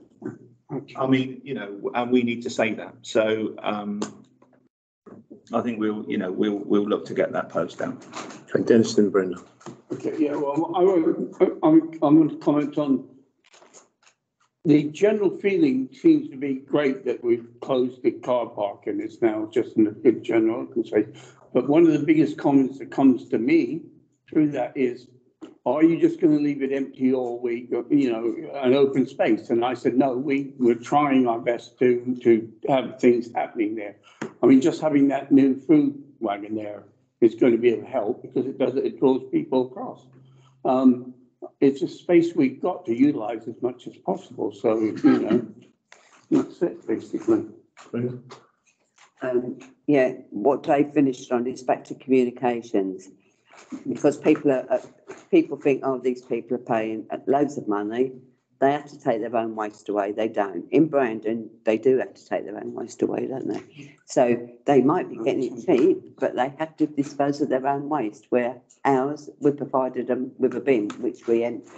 So, you know, un- unless you, we actually start to tell people, because sometimes they're silly questions and, and you think, you know what, I'm not going to bother to argue with you because I'm just telling you that, you know, you go into Facebook and you, you end up arguing, don't you? And I think, "Do you know, I'm not going to bother. If you can't bother, be bothered to phone the council up and ask, I'm not going to bother with you because, you, you, you know, but if you've put it out there in the first place, actually you've got this wrong, this is their charges and this is what they get for them charges. And then people are satisfied. I think you're right, Ben. I think we, there's an opportunity there and David's identified to actually say, well, why not come along and, uh, try your business out on whatever market for this amount and having that, See, we have including waste disposal as, Yeah. as a selling point. And we, um, and it, it was Sharon, uh, uh, on the, uh, fish stall that actually, uh, asked about the, uh, come three time, pay for three weeks, get the fourth one free. I remember we did th- that promotion, um, several years ago. It was through our winter months. And actually, you know, the weather is a very, you know, significant factor for people to, especially in these times where fuel is so expensive, to come from quite a long way away. You have to make sure that you're going to earn your, your income. But I remember uh, that period when we did that, and the only people who really benefited were the regular traders that come rain or shine. And my view is that they do come rain or shine. They have been coming 14, 15, 20 years. So from time to time, to give them a bit of a reward for their commitment, that's not a bad thing anyway. Um, so I think it might be something that we try. Um, and who knows? The good thing about that kind of promotion is they actually do have to come and pay for three weeks to get the fourth one free. So it's not giving everything away, but it's encouraging um, uh, people to come and try. You just mentioned about the activity like the Assizes Fair. Are there any things like encouraging the busker to sit there for a couple of hours or something like that? Or you've got uh, jugglers or something like So, that? so one, one thing that we, we have done in terms of the, um, the budgets, uh, and this is, this is tomorrow's committee really. We have set aside some money for what we call market, uh, marketplace activities. Um, it's not, it's not hugely, um, uh, large budget. But, you know, we have got an opportunity and some of those activities on the Assizes Fair were, were well, that, that event actually, um, it was what, it was hundred and fifty pounds it cost us. And that was basically because we, we got the traditional type of musicians for that particular. We don't have to do that. I remember when we did the night markets, our total budget for a night market um, was hundred pound for the entertainment. And actually in, it's not always the case, but in, in those, in that case, what we used to generate from stall fees used to pay for that anyway. So it was a bit of a, you know, no cost event. Terry, you're coming. Yeah, I was just going to ask, um, David, in the discussion earlier, you mentioned the twenty hour a week role for sort of market supervisor, I can't quite get the job title correct. Could you just confirm what they actually do within those twenty hours? Is it So- pu- purely market? and No. What do they do as part of that? So the person who is on twenty hours a week, um, we, again, I'll, you know, tomorrow, I, I am gonna put a slide up, which actually does the MT's organisational chart, so people are aware of, of what they do. We now call all of those people venues and event officers, but in brackets, they have their primary focus. And in terms of that particular person, yes, it's important that their primary focus is the markets. But believe me, of those twenty hours, they probably only work six hours across those markets. The rest of it is to support tea room, events, bar services, things like that. And that is the trend of all our staff members. We have a, you know, a multi um, targeted uh, use of their time, but um, she is uh, the market supervisor to all intents and purposes. But I can tell you over the two markets, it's literally six hours a week. The, the reason I asked, I was in um, Cornwall recently and in one of the little towns we went to, they, they had a market on and I was chatting away with them. Um, and as part of their role, sort of collecting the fees, that promotion of the market and the market traders is part of their role. So they would be the ones that, you know, work with them to, you know, if they've got new products and, and it just occurred to me, it's all about having a rapport with them and knowing the market traders. Are you bringing something new? Can we as a council promote it? Um, and I'm just wondering if we're not giving enough capacity to that role specifically for the market, because it, it- really occurred to me last week or whenever it was, when we had the market traders here about the Wetherspoons proposal. You know, they, they should be hearing about that from the town council person that we have nominated to work on the market. You know, the relationship should be such that when big things like that happen, oh, by the way, are you aware? What do you think? Because these things are all about relationships, aren't they? And it just occurred to me that maybe we're not giving enough capacity to the role of looking after the market. And part of that should be about marketing and communication and Well, relationships. It, it, I I mean, yeah, I take your point. There is that. I mean, you know, um, she, she is a member of the council, so, um, so we, we have, we have phones that, um, they are limited to use and things depending on your, your, your role. But, um, but they have the capacity to take photographs and things like that. And you can take a photograph and, you know, uh, send it to Hazel and she can turn that into a, uh, a promotional, um, of a new product or whatever. Um, there is an, a- another element though, that they're, that, you know, they, that, that is their business. They should have a responsibility to promote their own business. Simon, the plant man, actually, you know, you'd never have thought that he would be on social media. He is, and he puts his stuff on there, so does Scott, etc. So again, maybe they need a little bit of help to try and nurture that as well themselves.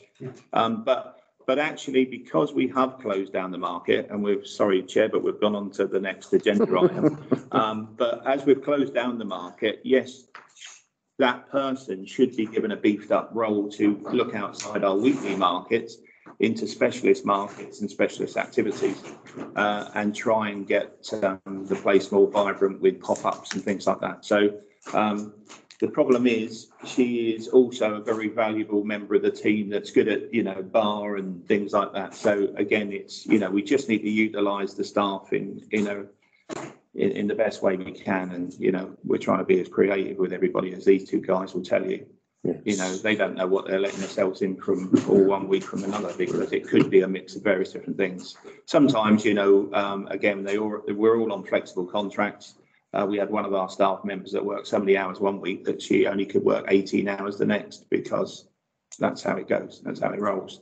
But, um, yeah, so I'll, I'll, we'll take on all of those points and Yeah, so if, if they're already doing the social media, that's something that we can link into Yeah. or occasionally just and, and push it. we'll, we'll pick. But also direction to our staff member to say, if they notice something new on there, let's fire it out there and. My, my, my only concern, and maybe this is me being overly, um, sort of negative in terms of, of, you know, weather is such a big thing. What, what, what we don't want to do is, is put that promotion out to say, come down and see our vibrant market. And there's a spot of drizzle and people come down for the first time and go, what market? There's only two stall holders. I mean, I've had a conversation with the guys on the roasties van today and I said, how did it go yesterday? Yeah, it was great. But, you know, they're good at social media as well. I've said to, um, I've said to Hazel, leave it until Thursday, Friday. Let them find their space. let's go back to them and say, is it something that you think is going to be viable and you're going to be here for, you know, for the foreseeable future? And if that is the case, then we'll do a big promotion on them to say, look, come down, the food's great and, uh, you know, that kind of, that kind of promotion. But we've already talked about that. But I don't want to go out there too early and then by Friday they've said, actually, it's not working. But it it is catch twenty-two really, because if we don't drum up the train for them, they will leave. So I understand the point. Okay, thank you. Sorry, Starts on that one. Um, are they get, are, are you sorting out, um, or are they sorting out their licence and that? No, they, uh, onto- they, they would, they would, oh, no, no, no, no. They, they actually, in some respects, they actually prefer it to be in the centre of town. Right, Yeah, Um, you know, so I think, I don't think that's an issue now. right, okay, okay. Right, s- segue into marketplace working group then, David, one oh five. Yeah, so I mean, it is just, it is just the fact that, um, well, really, from full council, we have got the meeting with, um, all the tenants around the market square uh, and the market traders and, and anybody else that wants to sort of throw their sixpenneth in really on the twenty-first of June. Um, That's open to council. Absolutely, and I, and I asked, I, I've asked the traders, uh, all the market traders, because I, I think some of them have said, is it only Simon and Scott that can come along? Absolutely not, you know, so I think you'll find a couple of other traders that will come along. But what I've said to them is, is, um, yes, it's come about because of an application that, that at Wetherspoon's made, but let's not just focus on that. Let's focus on how do we make the marketplace the vibrant space that we all want that will benefit all of us. Um, so I think hopefully they'll come with some of their own ideas of how we can improve that space as well, because Dennis is absolutely right. The last thing we want to do, and I think, you know, I know Terry was against it from the outs- outset, and, and actually I remember one of Terry's comments was, the problem I can see is ninety percent of the time it's going to be a big lump of tarmac with nothing on it. And, and, and that's resonating in here. And I'm striving to try and make it more, and, uh, and, but having said that, um, there is going to be times when you walk past it and it is going to be an empty space, but there is no town square or, or, or city, um, marketplace that's, that's not got it as a car park that's vibrant all the time. Even when we've had it into space, we've had kids playing football on there, we've had bubbles going Well, one of the there. things, I mean, I'm not, I'm not, I'm not too, uh, I'm a bit concerned about the football list, but, um, but one of the things that has gone down quite well, um, is the, uh, is the planters on Guildhall Street. Oh, yeah, Now, during the uh, week leading up to Jubilee, we did have some people come and say, and actually, actually, there was a lady who kept walking over the, over the marketplace saying, uh, is this all about the evil House of Windsor? Which, which was quite funny at times. But, um, she did say, is all this expense going in and as soon as the Jubilee's over, are you going to take them down? Well, blimey, you know, having lifted some of those sleepers to help to get no way. Um, but ninety percent of the comments that we've seen actually, you know, actually like it. Um, we've, we've utilised the same benches, but you do get this secure wraparound of the hedging behind you and the, and the hopeful, hopefully colourful planters in the, in the two bedded parts at either side. So we've had some really good feedback actually for those, and that's a good thing. But what the other, what other comments have been is, we've shut, shut the market down and is this it? So we can't stop here, we've got to keep, we've got to keep. So So then, good things, Chair, just to come back to you. Uh, we've had the electricians in today that will be replacing some of the lights under the shambles. They're working on that. And we will have the new lights on the slope of the Guildhall going up, uh, as soon as we can. but the electric box timing, what's the electric feed on Guildhall Street? Uh, we, so that, hopefully, we've gone back, we've made a decision, uh, we're going with the, uh, the contractors that have come up with the, um, with the really attractive cap. So basically, they're just coming in, in, uh, hopefully the next month to do that. We've got the work on the Ro- Royal British Legion happening at the moment, so we've got to get that out of the way before they start trunking it across, uh, along, uh, Guildhall Street. But, you know, hopefully over the next, you know, month or so, you'll see a bit more activity and a bit more upgrade. Guildhall, the tea room planters and obviously tables, chairs can go out, but The table chairs can go out, As well. but, but again, you know, one thing I did notice yesterday, which was a bit cheeky, and uh, I know the guy and his wife, so I did, uh, I did have a bit of banter with him, but he went and bought his lunch from Roasties and sat at our tables and chairs, which I thought was a bit cheeky, but he didn't know any different, to be honest. It needs to be demarcated with, uh, some of the planters with our logo on the side. Um, so, The timing of those is what, a month well, or so? unfortunately, uh, they, they, they are half built. Uh, and then the person who was doing that job is, is not, is not with us. He's gone off to do other stuff now. So, um, Graham has taken a well-earned rest, uh, for the next week. He's gone on holiday. Um, but when he comes back, he's going to put some time in just to clad those planters. So hopefully you'll see something out there in the next, well, by the end of next week. Okay, Terry then, back no. Yes, so about the planters in the picture up there, uh, I'm all for increasing the number of uh, opportunities to get plants out and about. But I was quite surprised because we've got black benches, black bins, and black's a fairly sort of adopted heritage colour. And I was quite shocked to see a sort of earthy wooden type look to them. I'd much prefer them painted black. We, and we can absolutely do that, Terry, but the problem is, uh, I mean, I was, you know, I haven't slept for three weeks, I'll be honest with you, because the schedules were like getting tighter and tighter. The hedging went in literally at the death. I mean, so ideally, that, that would have been uh, rolled back at least a fortnight, um, and uh, we could have done that. In fact, some of the other councillors have asked, are we gonna, are we gonna stain them? Are we gonna, but, you know, there's no reason why we can't, um, we can't. Stain black. We can't stain, black, we you can't can stain get black black, and actually, you know, there is ways that you can put a crest into the, into the wood as well. Better. So, Okay, Jen. I was going to say about the tables and chairs, I, the suggestion I had when I was coming down from the Guildhall earlier is a lot of places do put tables and chairs out for each other. So if it does pick up with the, with the young lads, and that- I agree, they're nice young lads, for the taters and that, and the Guildhall, then the chairs could go out and it could be, well, you go into a lot of shopping malls, don't you? And there's a seating area and you can go, so, yeah, You know, yeah. I mean, i- ideally, if you've got an event going on, you know, and you're a family, you know, the, the, the child is gonna run off to Coco's and get a bag of pick a mix. Mm. You know, you're gonna, mum's gonna get a coffee and, and, and, mm. you know, whatever. But we have more tables and chairs. It's just that at this moment in time, we're only utilising three, but we can have, well, I think we've got seating up to twenty-four.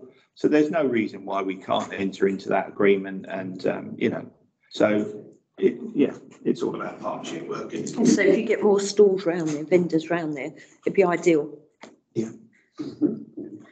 Okay, thanks for that then. On to one oh six twenty-two, compliments and complaints. Well, um, even though we've had a lot of Facebook traffic, uh, the town clerk hasn't received any formal complaints, not that she's spoken to me about. Um, and similarly, we haven't had any written compliments that we've received. Um, but both, uh, obviously, we've had, um, some social media, um, complaints and disgruntlement.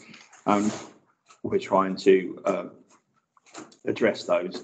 And we've had a lot of verbal uh, compliments, as we've already um, mentioned about plants. And some people did enjoy the Jubilee, so um, I don't think it was a complete waste of time. Seven twenty-two, community engagement. We got any suggestions or we have talked about the market, trying to saying, well, these are stall fees and all that type of thing. Um, we're doing, you know, the new flyers and that which we've, we spoke about, but is there anything else that we haven't touched upon that you want to bring up, Brenda? Um, just being, uh, under, um, communications and communicating, um, with the local, local people. Um, yes, we've, we've got that stall because by accident he parked in the wrong place and, you know, the council found out about it, so we've dealt with that. But there's lots of people that they go out and they do, they do little things, but it's, if we've got the prices out there, what it costs us, just say, for example, I, I, I do candles, you know, and, and, you know, women do that, you do candles. Did, did you know to come onto the marketplace, it would cost you this? Yeah. For so many hours, you know, and it's just doing that because I think, and it can be any day of the week, providing there's no events on. You, you know, you're offering them that choice. But I think we do need to, sometimes we just are too accommodating, so we do need to be realistic. I think, you know, there needs to be this two, two tier, uh, cost because, I mean, ten years ago, this council got a grant from Breckland to purchase twenty gazebos. And those, we are now down to a stock level of ten.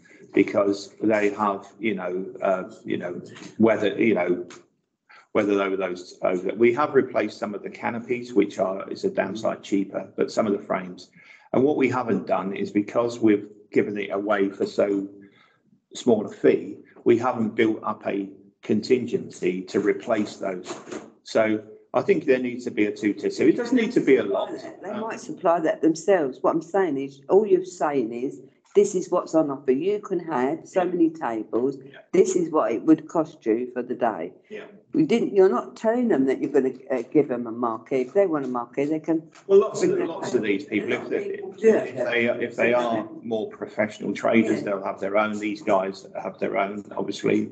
Um, but, but yeah, we, we just need to, to do that, um, because we need to build up a contingency. Having said that, over ten years, it's like everything, you know, the price of the gazebos have come down, you know, massively. So you can actually buy a new gazebo with uh, a canopy and four sides for virtually half the price you did ten years ago. But we just need that sum of money to build up. Um, so, yeah. So then one oh eight twenty-two, committee officers update. So no, I've nothing to add. Thank everybody very much for their attendance and contributions and David, where's, what's that market meeting, where is it at?